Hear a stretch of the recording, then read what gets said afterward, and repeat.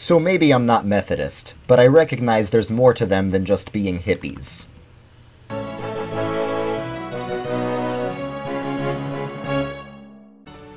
Hey guys, welcome back to Kingdom Craft, where I build this big church in Minecraft while I talk about Christianity. And today I'm doing another one of those videos where I talk about why I'm not various things. And yeah, today I'm talking about why I'm not Methodist, despite the fact that I have a lot of respect for Methodists in different ways. I mean, after all, the college that I go to was originally affiliated with the Methodist Church, but still, I couldn't really see myself being Methodist. Like some of these videos where I said why I'm not Anglican or Lutheran, I could still see myself eventually going to an Anglican or Lutheran church if there's no Presbyterian church in the area, but Methodist is like a, a tier below that. So there is a, a really just one big reason why I'm not Methodist, but there are a lot of similarities between Methodist and Presbyterian because you could put like all the different traditions on a scale from high church to low church. High Church is like Catholics and Orthodox that take the church itself very seriously, and the sacraments are like a huge part of what they do. And Low Church is like Baptist and non denominational, where the church itself isn't that important, it's mostly about your personal faith. And the sacraments have basically no importance at all, um, if they even call them sacraments. And, you know, high church is more likely to have a church that looks like this. Low church is most likely to not care about the church building at all. Have it look very simple or just rent out some, I don't know, school or gym.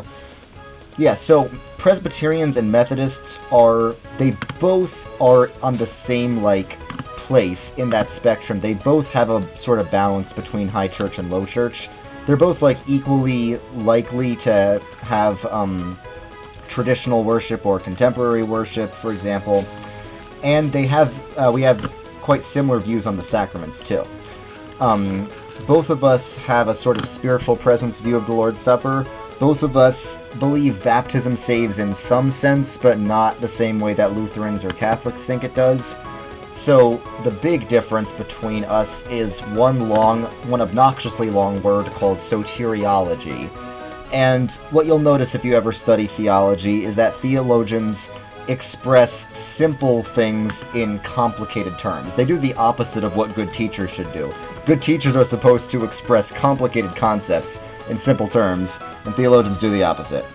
So all that soteriology means is what is your view of how salvation works. That's all it means. Um, and on that question, Presbyterians and Methodists are opposites. Because Presbyterians are Calvinist and Methodists are Arminian. And most people who call themselves Calvinist and Arminian don't know what either of those mean in a historical sense. Calvinism, for example, doesn't just mean you believe in the five points, like you believe in Tulip. In case you don't know what that is, um, there are five points that sum up the Calvinist view of how salvation works, which is that there's total depravity, that we're totally um, too sinful to accept the gospel. There's unconditional election, which is that God chooses us not based on any choice or action we do. There's limited atonement, which is that Jesus' sacrifice will only cover the sins of the people God chose. There's irresistible grace, which is that when God decides to save someone, they will be saved no matter what. And perseverance of the saints, which is that the elect will persevere to the end and will not fall away from the faith. And Arminianism arose in response to that, but just like people misunderstand Calvinism and think it's just about those five points, people misunderstand Arminianism and think that um, Arminianism is like the complete opposite of Calvinism, but it's not. Arminianism actually arose out, out of the Calvinist tradition. Arminius himself was a Calvinist.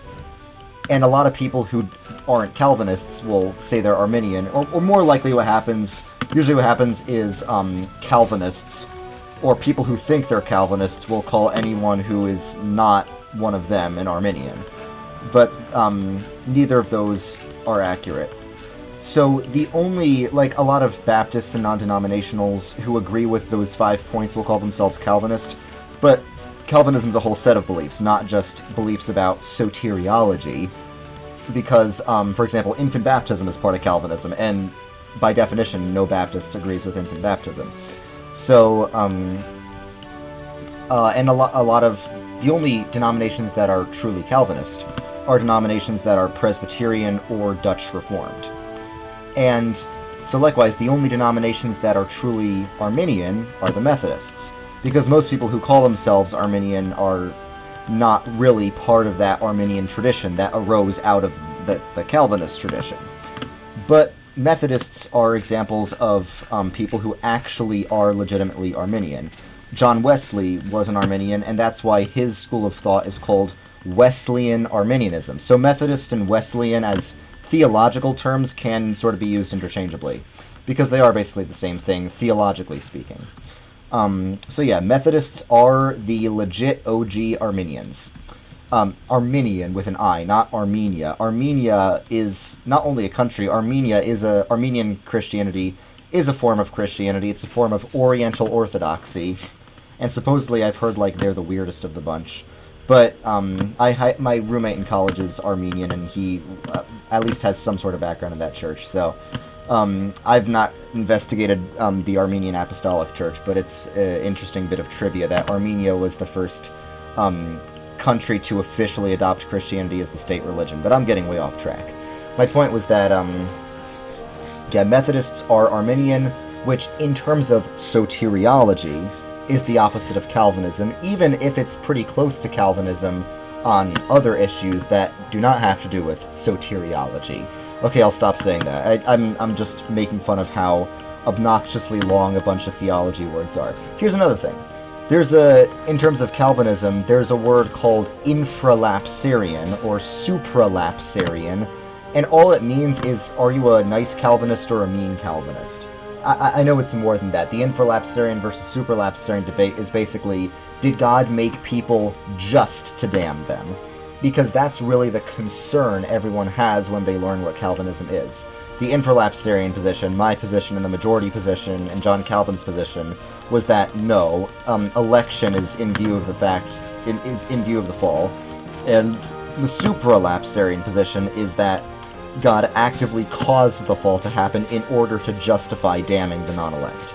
And that's what, um, like, Calvin's successor, Theodore Beza, held to. Um, but yeah, I'm, get, I'm getting way off track. My point is just that a lot of theology words are way longer than they need to, and than, than they need to be. So, Calvinism, basically, um, there's the five points. The essence of the Calvinist view on soteriology is that salvation is not a free will choice.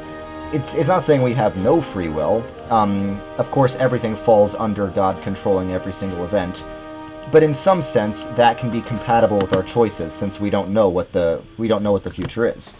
However, um, salvation, from a Calvinist perspective, is not a free will choice in any sense at all. God decides who will come to faith and who will not. And because of that, we cannot take credit for our salvation. That's the beauty of Calvinism. Um, like, if you're a believer, why are you a believer and someone else isn't? Is it because you're smarter than them? Is it because you're more moral than them? Is it because you just you it's like you made the right choice, but why did you make the right choice and someone else didn't? That question is inescapable. And if you believe it's because of your free will, then you the logical conclusion of that is there's something in you that caused you to make the right choice and someone else to make the wrong choice. That that same bee has always been around here, just spinning around and uh, always hanging out around me. I should give it a name sometime. Um, it's, it's probably a she, because I think it's the female bees that are usually out and about. I know things don't have genders in Minecraft, but because I'm a, a conservative person, I don't let anything be gender neutral. Anyway, uh, i get way off track sometimes, I apologize. So, uh, what was I gonna do? Yeah, I'm gonna, I was gonna go shear some trees. So yeah, um, it, eh, the Calvinist position is that salvation is not based on a free will choice at all. And the Arminian position is that it is. John Wesley, who I have a lot of respect for, he's sort of like the theological father of the Methodist tradition, which arose out of the Anglican tradition. Um, that's kind of why I made this video right after I made the episode about why I'm not Anglican. Um, John Free Will was extremely important to John Wesley's theology, and he affirmed, as the Reformers did, that salvation is by faith alone, that we can't earn our salvation, salvation is completely a work of, of grace through faith, and Methodists would affirm that, of course. But he still gave a much greater role to the human role in salvation than, like, Luther and especially Calvin would, because John Wesley said that um, it's like we're responsible for pursuing holiness. He said, We are still justified by faith alone, but it is the responsibility of a Christian to make sure they're always trying to improve themselves, and if they don't, if they get lazy and get spiritually dead, they could fall away from the faith and lose their salvation. So yes, um, Arminians, along with Lutherans, believe that you can indeed lose your salvation, but the difference is that Lutherans um, generally do not think that losing your salvation has anything to do with not striving for holiness. Lutherans are very careful to insist that works and even intentions have nothing to do with salvation, that salvation is based on the objective justification that Jesus purchased for us on the cross. But Methodists are much more likely to be um, synergistic, meaning to say that salvation is in some sense us cooperating with God's grace, even though they still say we're justified by faith alone, to basically stay in a position of faith, we need to actively pursue righteousness. And the goal, according to John Wesley, is to achieve entire sanctification. What does that mean? Entire sanctification is a point that a Christian can reach in their life where they no longer sin. This is the weirdest thing with Methodist theology, in my opinion, is entire sanctification. Luther and Calvin would never say that it's possible for a Christian in this life to ever get to a point where they can literally stop sinning. But John Wesley, uh, at least this is what the Methodist tradition teaches. I'm not sure if Wesley himself taught it. I assume he did. Correct me if I'm wrong. Is that a Christian in this life can actually stop sinning. And that's, I think that's kind of ridiculous. But um, that's kind of why I'm not Methodist. But there are many reasons why I am. And um, one of them is that they see the Christian life as a battle. They use a lot of military metaphors for the Christian life, which I think is great. A lot of army and kingdom metaphors. And I've adopted that myself. I use a lot of those. The whole name of this series is called Kingdom Craft, right? And um, the the great hymn "Rejoice, the Lord is King" was written by Charles Wesley, who was John Wesley's brother, who wrote a lot of great hymns. Um, so that's one of the really good things coming out of the Methodist tradition, because they're always talking about progress in like growing in holiness and stuff. They really do talk about the Christian life as a battle, which it absolutely is. So that's something Methodists are 100% spot on about. And that's something I really respect about the Methodist tradition. And on that subject of the Christian life being a battle, I'm going to go defend my church from all these mobs that are outside instead of just running away and sleeping. I'm going to call this axe the... I'll call it the Zoomer Battle Axe. How about that? And I'm going to also make myself a set of armor. Maybe, um... Okay, I officially designate this little nook as the Church Armory, uh, which defends it from hostile mobs. Um... Okay, maybe I'll even make a sign. How about this? Um, I'll make a sign that says, uh, uh, it'll, it'll be posted up here. It'll be like, um, Church Armory, and I'll say over here, inspired by the based Methodists.